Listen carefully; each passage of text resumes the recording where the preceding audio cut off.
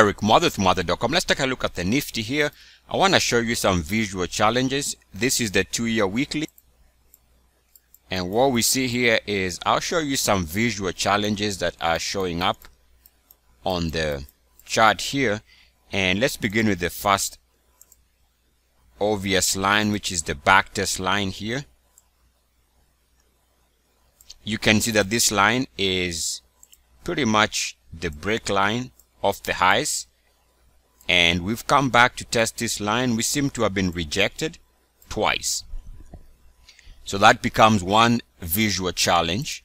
There's another way to look at the same area which is to figure out where we broke down. The breakdown corresponds with this movement lower. Take that information. And again we can see that this has become a resistance area. Now this is also similar to the bank nifty. So we see until we can be able to move above the line here we are looking at a market that is suggesting pullback possibility. Now keep in mind also the fact that the resistance here happens to be at about the 60 61.8 RSI level just something to consider. Now let's take a look at the MACDs I'll show you two lines that are intersecting right now. First line is this backtest line and then the second line is the previous breakout line. It something like that. In fact, let me draw this uh, with a different look so we are able to see price action. All right, let's do that again. So we got top side, resistance line, and then we have the previous support line. Now we see that both lines are intersecting at the moment and looks to be suggesting that around here this is resistance. Now keep in mind when we moved above the line here this was uniform activity above the line back below it.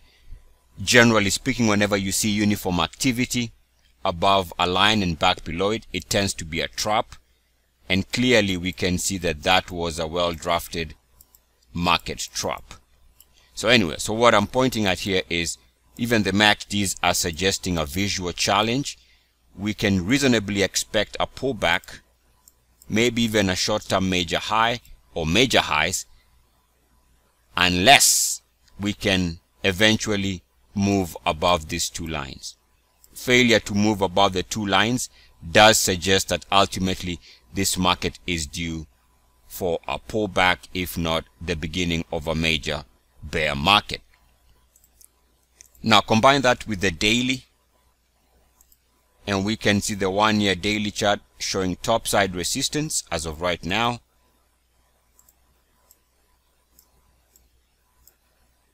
Also, this happens to be negative divergence because we went higher but prices were making lower highs.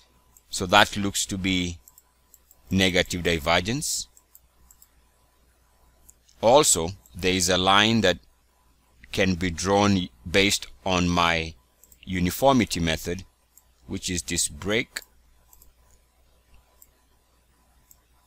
of the highs there. And the market has come back to test that break point. And again, we've hit that level twice.